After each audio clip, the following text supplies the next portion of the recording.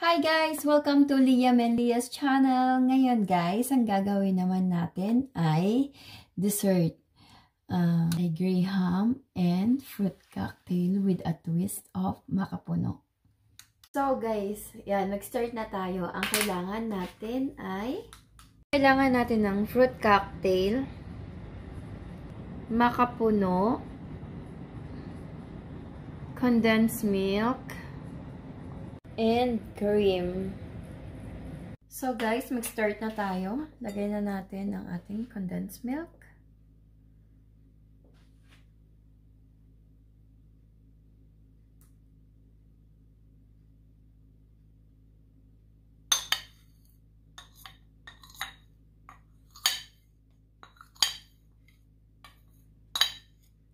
Condensed milk. Ating cream.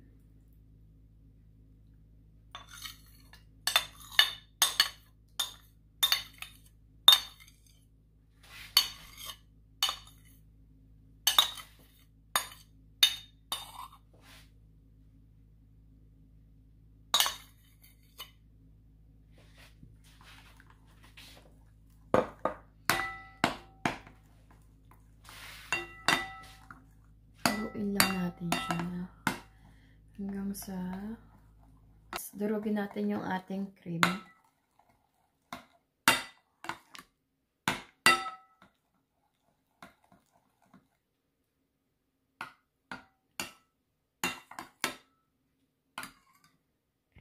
Haluin lang natin siya hanggang sa madurog yung cream. Hanggang sa maging talagang ganito na siya. Parang condensed milk na ang dating din niya. Then, ilagay na natin yung fruit cocktail.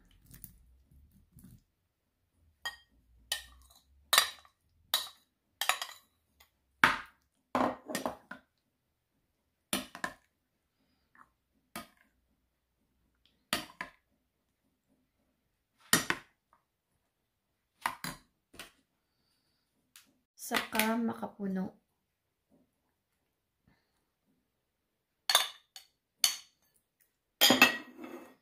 Ayan. Haluin lang natin siya guys.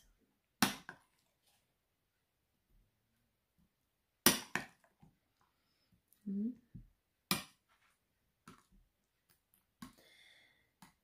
Saka natin siya ilagay sa graham. So, eto na guys, yung mix natin. Pwede na natin siyang ilagay doon sa ating graham. Ganito yung graham natin. Hindi ko na siya pinagdurog-durog kasi mas maganda siyang ganyan. Naglagay din ako guys sa clear na lalagyan para mamaya makita nyo kung ano ang itsura niya after nating gawin Ayan guys, first layer. Nalagyan natin siya sa taas.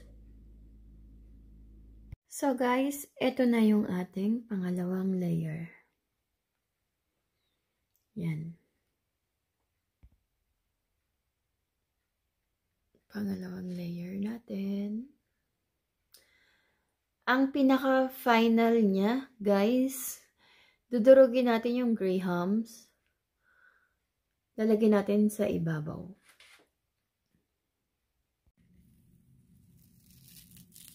Mm -hmm.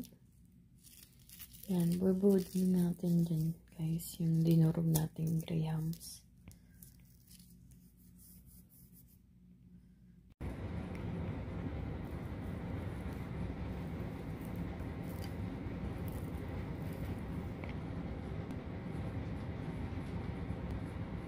So, ayan.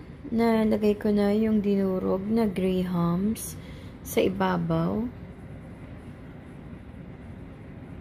Then, lalagyan ko ulit siya ng toppings sa ibabaw. Last na. So, guys, eto na ang ating graham and fruit cocktail with a twist of makapuno. Ayan.